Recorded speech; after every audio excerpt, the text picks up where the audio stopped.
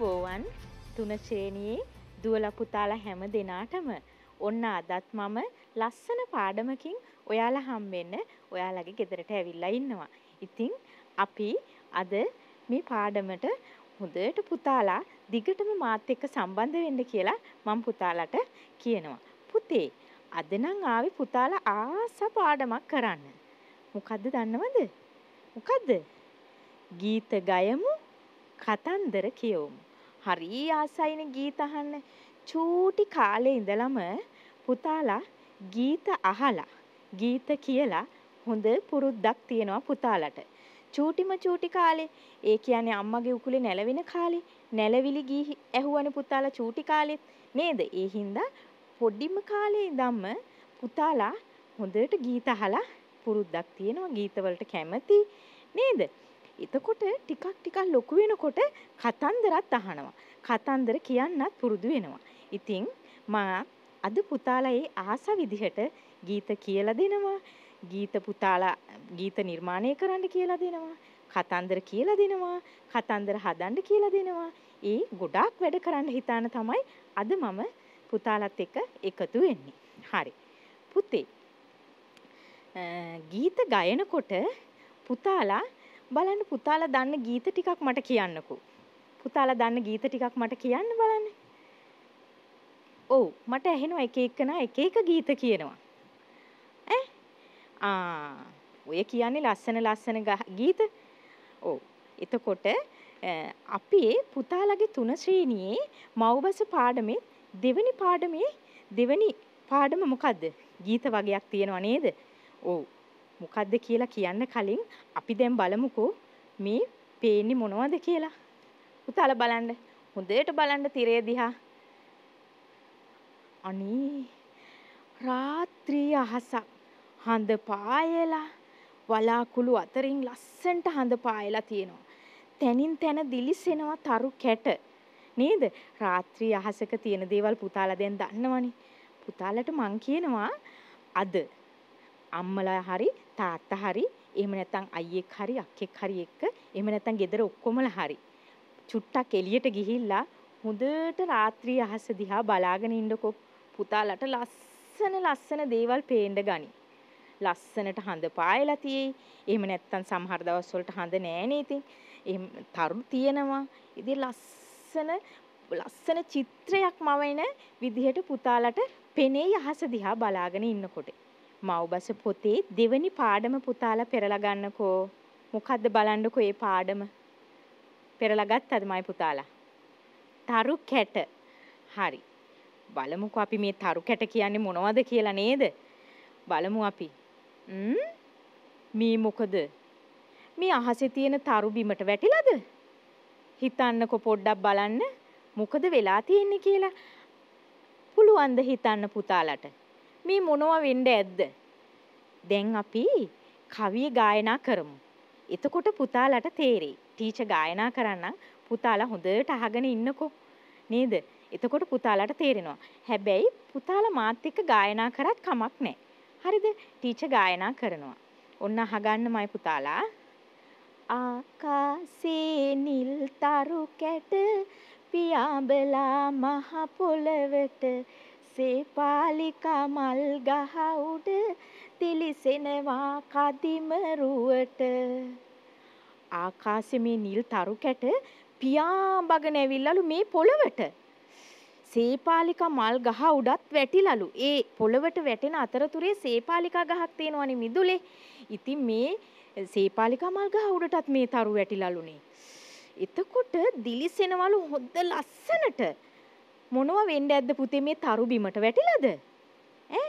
දිලිසෙනවලු. නේද? බලමු මොනවද කියලා අපි ඉස්සරහට කවිය කියාගෙන යන්. එතකොට පුතාලට තේරෙයි මේ මොනවද කියලා තේරුම් ගන්න පුළුවන් වෙයි. බලමු. අන්න බලන්නකො සේපාලිකා ගහ උඩ තරු පිරීලා වැටිලා. මේ කියන විදිහට. නේද? ආකාශයෙන් පොළවට වැටෙන ගමන් සේපාලිකා ගහ උඩටත් වැටිලා මේ තරු. බලමු මොකද වෙන්නේ කියලා අපි දැන්. අන්න සේපාලිකා ගහේ ලස්සන මල් පිපිච්ච අත්තකුත් පේනව නේද පුතාලට? දැන් දන්නව නේද අර සේපාලිකා මල්වල ලස්සන බලන්නකෝ. හරි. දැන් බලමු අපි මේ තරු සේපාලිකා ගහ උඩ මේ ලස්සනට දිලිසෙන තරු මොනවද කියලා අපි බලමුද? දැන් මේ ඔයාලා වගේම යාළුවෙක් දැන් මේ මිදුලට ගිහිල්ලා. එයාට පේන දේවල් තමයි එයා මේ කියන්නේ. එයාට හිතෙනවලු මෙන්න මෙහෙම මේ සේපාලිකා මල් ගහ උඩ වැටිලා තියෙන මේ තරු වලින් එයාට හිතෙන දේ බලන්නකො මේකේ තියෙනවා. මේ මාල පොටක් පොඩි නංගිට හදා දෙන්න පුළුවනි මට. නූල් පොටක් අරන් අතට හෙමින් ගියා ගහ ගාවට. ආ මාල පොටක් හදලා දෙන්න හිතෙනවලු මේ තරු දිහා බලපුවහම ඒ එයාගේ නංගිට පුතාලටත් හිතෙයිද දන්නේ දැන් මං කිව්වනේ අද රෑට එළියට ගිහිල්ලා රෑ අහස දිහා බලන්න කියලා. ඉතින් මෙයාට හිතිලා තියෙනවා අනේ මගේ නංගිට මාලයක් හදලා දෙන්න පුළුවන් නම් මේ තරුවා මුණලා කියලා මෙයාට හිතිලා. ඊට පස්සේ එයා මොකද කරන්නේ? නූල් පොටකුත් අරගෙන, ඉදි කට්ටකුත් අරගෙන, ඒ නූල් පොට අමු නගන එයා ගියාලු හෙමිහිට හෙමිහිට හෙමිහිට ගහ ගාවට. මේ යාළුවා දැන් නූල් පොටකුත් අරගෙන චූටි නංගියත් එක්ක කරගෙන හිමින් හිමින් ගියානේ දැන් ගහ ගාවට යනකොටම මියාට හරි පුදුම දෙයක් දැක ගන්න පුළුවන් වුණා නේද? මොකක්ද උනේ? මේ තරුද තිබිලා තියෙන්නේ? ඈ දැන් පුතාලා දන්නවා. බලමුද අපි කවිය මොනවද වුනේ කියලා. මොනවද තිබ්බේ කියලා එතකොට නම් පුතාලට හොඳට තේරුම් ගන්න පුළුවන් වෙයි. දැන් මේ යාළුවා හෙමින් හෙමින් ගහගාවට යනකොට වෙච්ච දේ බලමුකෝ අපි නේද? උන දේ මොකක්ද කියලා. සර සරගා එක රෑනට ඉගිල්ලුනා නිල් තරු කැට. කනා මැදිරියනි ආයෙත් සමා වෙලා එන්න බිමට. මොකද්ද පුතේ ඒ? පුතාලට දැන් නම් තේරෙනවා මේ තිබුණේ තරුද එහෙම නැත්තම් කවුද හිටියේ කියලා. නේද? එයා නූල් පොටත් අරගෙන නංගිත් එක්ක මේ සේපාලිකා ගහ ළඟට යනකොටම මොකද්ද උනේ? මොකද්ද සද්දයක්? සද්දයක් තියෙනවා ඒකේ කියලා. මොකද්ද? සර සර ගාලා එක රෑනට රංචුවට ඉගිල්ලුනාලු මේ තරු කැට. එයා මෙච්චර වෙලා හිතාගෙන හිටියේ. එහෙමනේ. ඉතින් ඊට පස්සේ මෙයාට තේරුණා අම්මා අනේ මම හිතුවේ තරු කියලා නෑ. මේ කණා මැදිරියෝනේ. එතකොට එයාට තේරුණා දැන් හිටියේ කණා මැදිරියෝ තමයි කියලා. ඉතින් කණා මැදිරියනි අනේ ආයෙත් සමා වෙලා එන්න බිමට කියලා මේ යාළුවා කියනවා. නේද? සර සරගා එක රෑනට ඉගිල්ලුනා නිල් තරු කැට කනා මැදිරියනි ආයෙත් සමා වෙලා එන්න බිමට තේරුණාද සමාවත් ගන්නවා කනා මැදිරියන්ගෙන්. ඇයි ඉතින් ඇත්තටම පුතේ දැන් පුතාලා දන්නවනේ සමනලයක් උනත් ගහක වහලා හිටියොත් අපි කොච්චර හෙමින් හෙමින් ඒ සමනලයා ලස්සන බලන් ඒ සමනලයා ළඟට ගියාට එයා එක පාරට ඉගිලිලා යනවා. මේ යාළුවටත් උනේ ඒකම තමයි. හෙමින් හෙමින් ගියා හැබැයි මේ කණා මැදිරියෝ ටික එක රෑනට සර සර ගාලා ඉගිලුණාලු. ඉතින් එයා ඒ නිසා සමාවත් ඉල්ලනවා කණා මැදිරියන්ගෙන්. අනේ සමා වෙලා ආයෙත් එන්න බිමට කියලා කියනවා. දැන් මෙයාට හරීම දුකයි පුතේ. ඇයි? මං නංගිට මාලයක් හදලා දෙන්න පොරොන්දු වුණා. නූල් පොටකුත් අරගෙන ආවා. ඒත් ඉතින් මට බැරි වුණානේ. අනේ නංගි දැන් මොකද කරන්නේ? නංගිට නංගිගේ හිත හදනවා නංගි. ඒ ඉඳලා තියෙන්නේ තරු වගේ දිලුසුනේ මේ රෑට අපිට පෙවුනේ මේ කනා මැදිරියෝ නංගි ඒ සේපාලිකා ගහේ හිටියේ කනා මැදිරියෝ අර ආකාශයේ තියෙන තරු නෙමෙයි නංගි කියලා එයා නංගිට පැහැදිලි කරලා දෙනවා නේද පුතේ ඉතින් මේ විදිහට එයා නැවතත් බලනවා. ආයෙ ටිකක් වෙලා යනකොට මේ තරු කැට නැවතත් සීපාලිකා ගහේ පිරීලා. එයා ඊට පස්සේ නංගිත් එක්ක අපි නංගි දැන් මේ මා මේ මාල හදන්න ඒව මල් නෙමෙයිනේ. ඒ කණා මැදිරියනේ. අපි ඈතට වෙලා ඒක දිහා බලාගෙන ඉමු කියලා දෙන්න ඈතට වෙලා ඒක දිහා බලාගෙන ඉන්නවා. දැන් පුතාලට දෙවනි පාඩම තරු කැට පාඩම හොඳට පැහැදිලි වුණා නේද? ගීත ගායනා කරානේ පුතාලා ওই ගීත ටික හොඳට පාඩම් කරගන්න. ඉතින් මන් දැන් පුතාලට දෙනවා අභ්‍යාසයක් මේ පාඩමෙන්. තරු කැට පාඩමෙන් අභ්‍යාසයක් දෙනවා. අපි ඉස්කෝලේදීත් අපි පාඩමක් ඉවර වෙලා අභ්‍යාස, පැවරුම්, ප්‍රශ්න වලට උත්තර ලියනවනේ. හරි. මං අහනවා පළවෙනි ප්‍රශ්නේ. තරු කැට ලෙස පෙනුනේ මොනවාද කියන්න බලන්න. පුතාලා දන්නවද? ඔක්කොමලා කෑ ගහලා කියනවා. මෙයා රැවටිලා තරු කැට කියලා පෙනුනේ මොනවද? කනා මැදිරියෝ. හරි. හැමෝගෙම උත්තරේ හරි. මෙහි සඳහන් මල් ගස කුමක්ද? මේ කවි පන්තියේ සඳහන් වෙච්ච මල් ගහ මොකක්ද කියලා තමයි මම අහන්නේ ඊළඟට දෙවෙනි ප්‍රශ්නේ. ඔව් සේපාලිකා මල් ගහ. හැමෝටම හොඳට පාඩම තේරිලා වගේ ඒ වගේම හැමෝම හොඳට තේරුම් අරන්. ඒත් එක්කම ඔක්කොමලා හොඳින් අහගෙන ඉඳලා තියෙනවා. පුතාලගේ තුන්වෙනි ප්‍රශ්නේ තමයි මාලයක් සාදා දීමට සිතුවේ කාටද? කාටද මාලයක් හදලා දෙන්න හිතුවේ? චූටි නංගිට, පොඩි නංගිට. මාලයක් හැදීමට ගහ යටට යනකොට එයා අරගෙන ගියේ මොනවද කියලා දැන් මං අහනවා. මොනවද පුතේ අරන් ගියේ? නූල් පොටයි, ඉදි කට්ටයි. නේද? එයා අරගෙන ගියා හිමිහිට හිමිහිට ගහ ගාවට. එතකොට මාලයක් හදන්න අරගෙන ගියා නූල් පොටක්. සහ ඉදි කටුවක්. කනා මැදිරින් යන් ඉගිල ගියේ ශබ්දය මොකද්ද? ඔයාලා දන්නවනේ ඔයාලා හරි ආසයි ශබ්ද කරන්න. මොක මොන ශබ්දයක් නගලාද ඒගොල්ලෝ ඉගිරගෙන ගියේ? හරියට හරි සර සර ගාලා ගියා. ඉගිලිලා ගියා. බය වුණානේ ළඟට යද්දි බය වුණා. බයට මෙයාලා හෙමින් හෙමින් ගියාට ඒගොල්ලෝ දැනගත්තා කවුරු හරි ගහ යටට එනවා කියලා. ඒගොල්ලොන්ට අනතුරක් වද්ද කියලා ඒගොල්ලෝ සරසර ගාලා ඉගිලුණා. එක රෑනට රංචුවම ගියා. එතකොට යාලා සරසර ගාලා තමා ඉගිල්ලිලා ගියේ. හරි. දැන් මන් දෙනවා සමාන පද. සමාන පද ලියන්න වචන ටිකක්. පුතාලා දන්නව පුතාලා ගොඩක් අය නේද? බලමු අපි. පහත සඳහන් මම මේ දීලා තියෙන වචනවලට සමාන පද අපි කියමු. දිලිසෙනවා. දිලිසෙනවා කියන්නේ මොකක්ද පුතේ? සමාන පදයක් කියන්නේ දිලිසෙනවා කියන එකට? බබලනවා. හරි. ගොඩක් හොඳයිනේ. චූටි පුතාලා ගොඩාක් හොඳයි. නංගි. නංගි කියන එකට සමාන පදයක්. කවුරුත් කතා නෑ වගේ. නංගි. නැගනිය කියලා කියනවා නේද? නංගිට අපි කියනවා නැගනිය කියලා. ගහ ඒකට නම් දන්නව ඇති. ගහ කියන එකට සමාන පදයක්. වෘක්ෂය කියනවා, ගස කියනවා, රුක කියනවා. හරි. ගොඩාක් වචන පුතාලා කිව්වා. එතකොට ඊගාව වචනේ ආකාශය. ආකාශය කියන්නේ මොකද්ද? අහස. ආකාශය ගුවන කියලා කියනවා. පොඩි කියන එකට පොඩි. පොඩි කියන එකට සමාන පදයක් කියන්නේ චූටි, කුඩා. ඔය තියෙන්නේ. ගොඩක් දේවල් කියනවා. චූටි කියනවා, කුඩා කියනවා. හරි.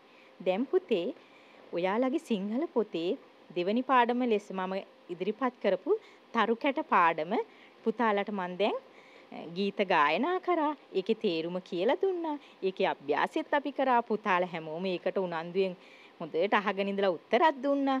දැන් අපි මං කිව්වනේ අද මං ගොඩක් වැඩ කරන්න හිතාන ආවා කියලා. මොකද්ද තව මං ඔයාලට පොරොන්දුනේ? කතන්දර කියනවා කිව්වා නේද? හරි ආසයි නේද පුතාලා කතන්දර අහන්න. හරි. අපි බලමු කතන්දර. පුතාලා මොනවද අහලා තියෙන කතන්දර? මොනවද පුතාලා අහලා තියෙන කතන්දර? කියන්නකො බලන්න පුතාලා හරි ආසයි කතන්දර පොත් එහෙම කියවන්න. නේද? එතකොට පුතාලා ගොඩාක් කතන්දර දැන් ටීචර්ටත් වැඩිය කතන්දර ගොඩාක් පුතාලා දන්නවා. ටීචර්ටත් කියලා දෙන්න පුළුවන්. ආ ඔය කියන්නේ මේ මොකද්ද මේ තිරේ තියෙන්නේ මොකද්ද පුතේ? අහසින් ගිය ඉබ්බා. මේ කතන්දරේ නම් ගොඩාක් දුවලා පුතාලා දන්නවා. නේද? මේ බලන්නකො මේ තිරේ දිහා තියෙන රූපේ දිහා බලපුවාම පුතාලා දන්නවා. මොකද වෙලා තියෙන්නේ? ඉබ්බට ආස හිතිලා තියෙනවා උඩින් පියාඹලා යන්න. ඉබ්බට තටු නෑ. ඒ වුණාට එයා ආසයි පියාඹලා යන්න. ඉතින් කොක්කු යාළුවෝ දෙන්නෙකුට කතා කරලා කෝටුවක් අරගෙන කෝටුවක් මැද එයා කටින් කෝටුව අල්ලගෙන කොක්කු දෙන්න දෙපැත්තෙන් අල්ලගෙන දැන් යනවා අහසින් යනවා. මොකද ඊට පස්සේ උනේ? මොකද උනේ? ආ ඉබ්බා වැටුණා. හරි පුතේ. මේ තිරේ පේන්නේ මොකද්ද මේ කතන්දරේ නම් මගේ පුතාලා හැමෝම දන්නවා. පුහුල් හොරා කරෙන් දැනි. නේද? එයාට අයිති නැති වත්තකින් එයා පුහුල් ගෙඩියක් කඩා ගන්නවා. හොරෙන් කඩාගන්නේ. ඉතින් ගමේ ප්‍රධානියට මේ පුහුල් ගෙඩිය අයිතිකාරයා පැමිණිලි කරනවා ගිහින් කියනවා අනේ මගේ පුහුල් ගෙඩිය නැති වෙලා කියලා. ඉතින් ඊට පස්සේ එයා හැමෝම ගමේ හැමෝම එක තැනකට රැස් කරලා අහනවා අහපුහම මේ ඇහුවට පස්සේ එක පුජ්‍යලයක් එතන ඉඳලා කර පිහදානවා දකිනවා. කර පිහදානවා දකිනවා. එතකොට ඒ කර පිහදාන්නේ ඇයි මේ පුහුල් ගෙඩියේ තිබිච්ච අර අලු කරේ ගෑවිලා නිසා. ඉතින් පුතේ එතකොට නිකම්ම හොරා අහුවෙලා ඉවරයි. පුතාලා දැන් දන්නවනේ. ඉතින් ඒ නිසා අපි බලමු ඊළඟ කතන්දරේ. කතන්දර ගොඩාක් තියෙනවා. මේ මොනවද? මහදැන මුත්තගේ කතා. පුතාලා ඒවා කියවලා ඇති. කියවලා නැති පුතාලා මහදැන මුත්තගේ කතන්දර පොත් කියවන්නකෝ. පුතාලාට එතකොට ඒවා ගැන හොඳ අවබෝධයක් ලබා ගන්න පුළුවන්. නේද? ඉතින් පුතේ අද පුතාලට નિયમિત පාඩමේ කතන්දරයක් තියෙනවා මම ඒක දැන් කියන්නම්. ඉතින් පුතාලා ආසයිනේ අන්දරේගේ කතා අහන්න මම එක කතාවක් කියලා දෙනවා. එක දවසක් අන්දරේව රජවාසලට කැඳවනවා රජතුමා. රජතුමා රජවාසලට කැඳවලා අන්දරේට මෙන්න මෙහෙම කියනවා. ඒ රජතුමාට තිබුණා ලොකු විශාල කුඹුරු යායක්. ඉතින් අන්දරේට කියනවා අන්දරේ මං ඔබට කාර්යයක් පවරන්නයි යන්නේ. එතකොට අන්දරේ කියනවා එසේය දේවයන් වහන්ස ඔබතුමා කියන ඕනෑම දෙයක් මම බාර ගන්නවා කියලා අන්දරේ බොහෝම යටහත් පහත්ව කියනවා. මගේ කුඹුරු කුඹුරේ සීසාන කාලය දැන් හොඳටම ළඟා වෙලා. සීසානවා කියන්නේ මොනවද පුතේ? කුඹුර හානවා කියන්නේ. කුඹුර හාන්නේ මඩ කරලා හාන්නේ. කාලය දැන් ඇවිල්ලා තියෙන්නේ අන්දරේ. මට අන්දරේ මේ ගමේ හරකුන්ට සීසෑමේ කාර්යය පවරන්නේ මම අන්දරේට කියලා කියනවා. එසේ දේවයන් වහන්සේ මම ඒක අකුරටම ඉටු කරන්නම් කියලා අන්දරේ බොහෝම පඬිතයා වගේ කියනවා. රජතුමත් කියනවා හොඳයි. එහෙනම් අන්දරේ මේ කාර්ය අකුරටම ඉටු කරන්න ඕනි කියලා. ඉතින් දැන් අන්දරේ එහෙම කියලා බොහොම හොඳයි දේවයන් වහන්සේ එසේම මං එය කරන්නම් කියලා අන්දරේ රජමාලිගාවෙන් පිට වෙලා යනවා. ගොනුන්ට කීමේ කාර්ය තමයි දැන් අන්දරේට පැවරුවේ රජතුමා නේද?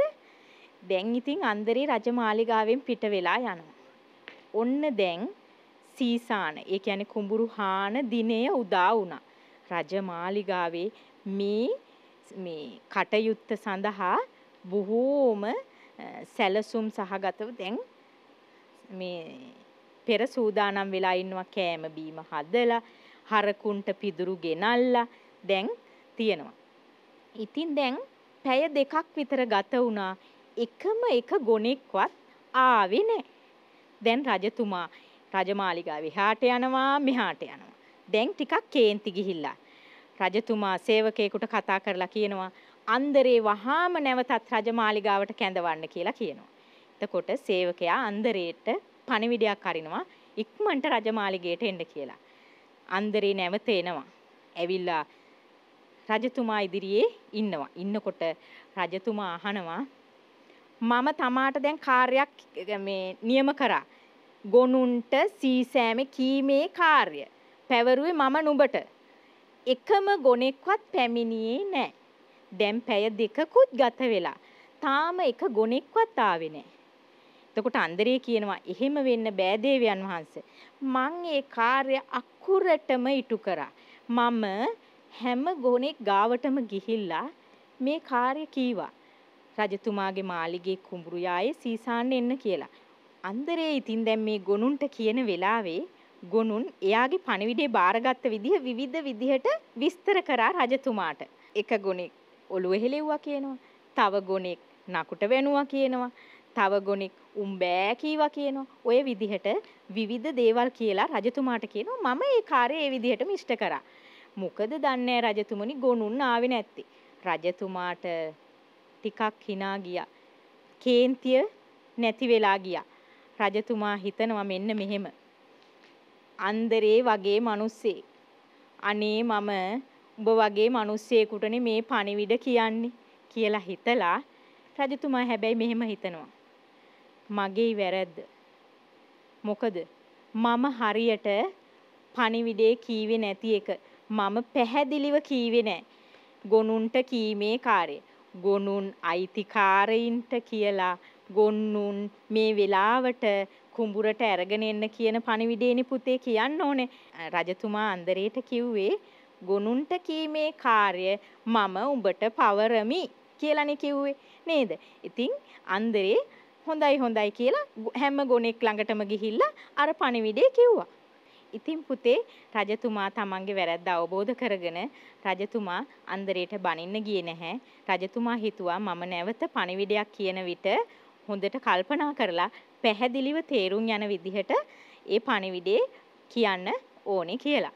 ඉතින් පුතේ දැන් පුතාලා අන්දරේට සීසෑමේ මංගල්‍ය කීමේ කියන කතන්දරේ පුතාලා දැන් ඇහුවා. ඉතින් දැන් පුතාලා හොඳට අහගෙන හිටියා. මට ඇහුණා hina වෙවි අහගෙන ඉන්නවා හරි ආසාවෙන්. ඉතින් පුතාලට මන් දැන් පුතාලගෙන් අහනවා ප්‍රශ්න කීපයක්. පුතාලා ඒකට උත්තර දෙන්න ඕනේ බලමු. පළවෙනි ප්‍රශ්නේ රජතුමා අන්දරේට පැවසූ කාර්ය කුමක්ද? රජතුමා අන්දරේට පැවසූ කාර්ය කුමක්ද? මොකක්ද පුතේ? ගොනුන්ට කීමේ කාර්ය. ගොනුන්ට සීසෑම කීමේ කාර්ය කියලා කියන්න ඕනේ. එහෙම තමයි කියන්න ඕනේ. එතකොට අන්දරේ පණිවිඩය කිව්වේ කාටද? අන්දරේ පණිවිඩය කිව්වේ කාටද? කාටද පුතේ? ගොනුන්ට. අන්දරේ පණිවිඩය කිව්වේ ගොනුන්ට. ඊගාවට මං අහනවා තුන්වෙනි ප්‍රශ්නේ ගොනුන් අන්දරේගේ පණිවිඩය පිළිගත්තේ කෙසේද? ගොනුන් අන්දරේගේ පණිවිඩය පිළිගත්තේ කෙසේද? කොහොමද පුතේ පිළිගත්තේ එක එක ගොන්නු එක එක විදිහට පිළිගත්තා. සමහර අය වලිගේ වනා, හිස වනා, කන සොලවා ඒ විදිහට පුතාලට පිළිතුරු ලියන්න පුළුවන්. ඉතින් පුතේ අද මම පුතාලගෙන් දැන් කතන්දරයක් කියලා දීලා පුතාලගෙන් ප්‍රශ්න ඇහුවා. පුතාලා ඒ ප්‍රශ්න වලට හොඳට උත්තර දුන්නා. පුතාලා කිසිම කරදරයක් කරන්නේ නැතුව මේ පාඩමට සවන් දුන්නා. කවිත් ඇහුවා නේද? ඉතින් පුතේ මම අදට පුතාලගෙන් සමුගන්නවා නැවතත් මේ වගේම ලස්සන පාඩමකින් පුතාලා හමුවන බලාපොරොත්තුවෙන් පුතාලා හැම දිනාටම සුබ දවසක්